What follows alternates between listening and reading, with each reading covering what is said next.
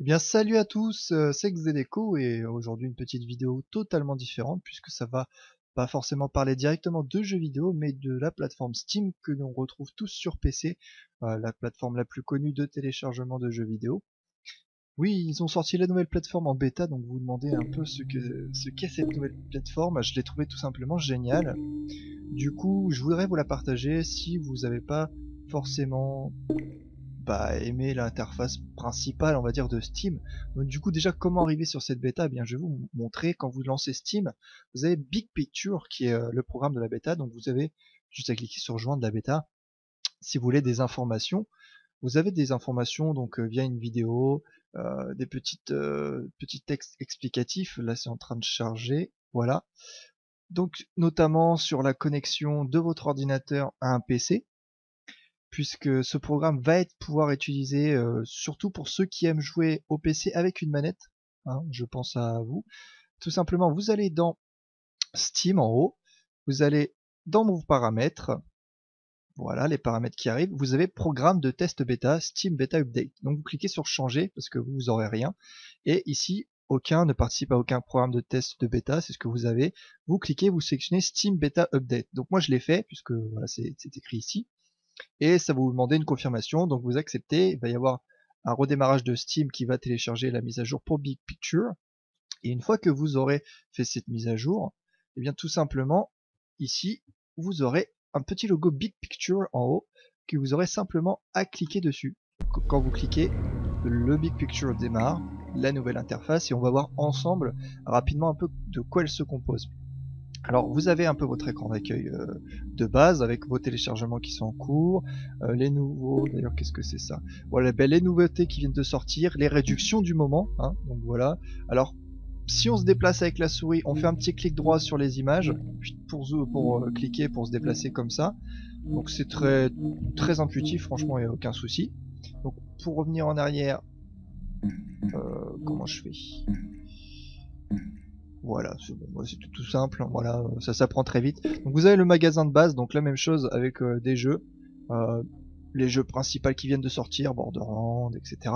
Vous pouvez les classer par genre. Donc si vous mettez par genre, vous avez les genres gratuits, stratégie, RPG, action, massivement multijoueur, vous pouvez vraiment classer comme vous voulez. Donc il y a le petit bouton Steam pour revenir.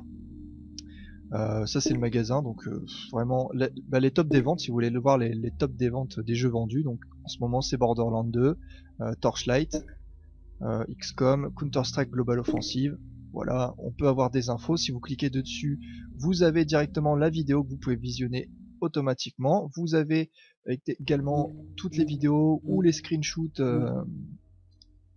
à côté. Donc, euh, magnifique interface toujours. Vous pouvez accéder tout de suite à Internet aussi. Hein. Si vous voulez Google, Twitter, Reddit, euh, Facebook, YouTube. Voilà, vous pouvez euh, sûrement pouvoir en mettre d'autres, actuels.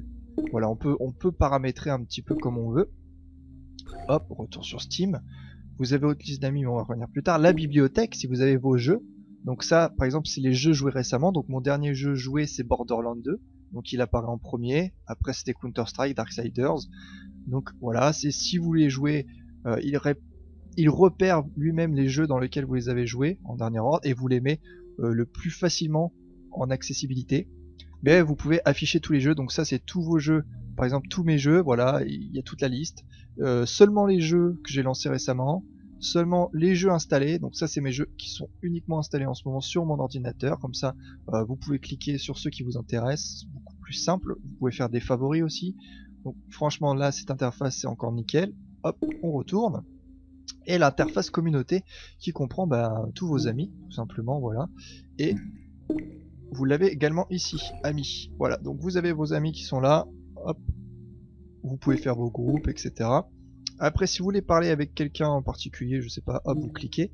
Donc vous avez totalement un chat intégral qui est vraiment intéressant puisqu'il est très grand et très clair aussi. Donc euh, franchement, ils ont fait un boulot de fou. Lancer un chat vocal, c'est clair, vous pouvez ajouter un ami. Vraiment, tout est bien, bien fait.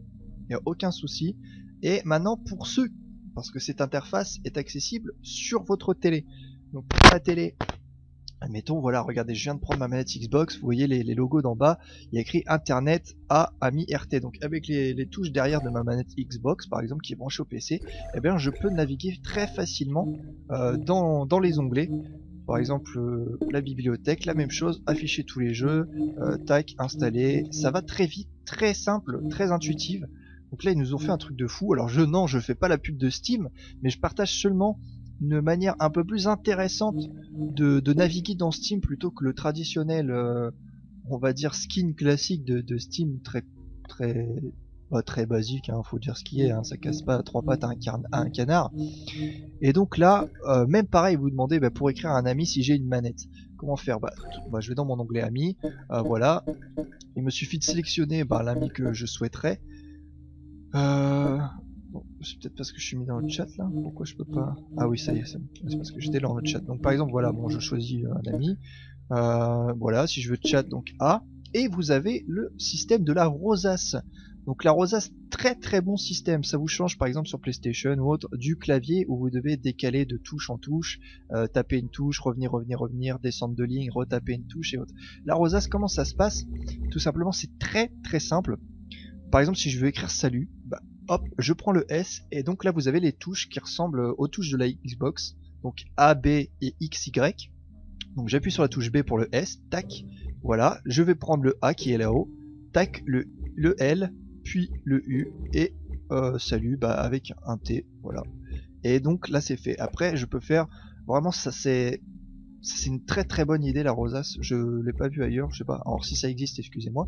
Mais euh, franchement, bon bah moi, je suis pas, je passe pas ma vie sur console, je suis plutôt sur PC, donc c'est très agréable. Et cette interface est très utile parce que pour ceux qui projettent leurs jeux sur PC, sur euh, télé pardon, pour tous ceux qui vont projeter leurs jeux sur télé avec votre câble HDMI par exemple, vous pouvez vous mettre sur votre fauteuil, jouer avec votre manette et utiliser cette interface qui est actuellement en bêta elle est juste superbe. Et donc voilà, je voulais vous la présenter, vous montrer comment la débloquer, parce que c'est vraiment un, moyen beaucoup plus plus sympa pour... Euh, il y a même les paramètres là, compte amis, langue, saisie texte, audio, affichage. Bon voilà, il y, a vraiment pas mal de trucs. Et non, franchement, c'est très très agréable cette interface. Vraiment euh, très très bien designé hein, pour comparer à voilà l'interface de base que l'on retrouve ici. Euh, ça change du tout au tout. Donc voilà, je vous la conseille. Hein, enfin, essayez-la, ça coûte rien. De toute façon, c'est une bêta pour l'instant. Et pour ceux bah, qui jouent sur euh, qui jouent sur PC mais qui rediffusent sur votre télé, ça serait euh, bah, une, énorme, un énorme plus cette interface parce qu'elle est vraiment très agréable. Donc voilà, en tant que gamer personnel, ben, voilà, je trouve cette euh, interface très agréable pour vous la présenter vite fait en vidéo.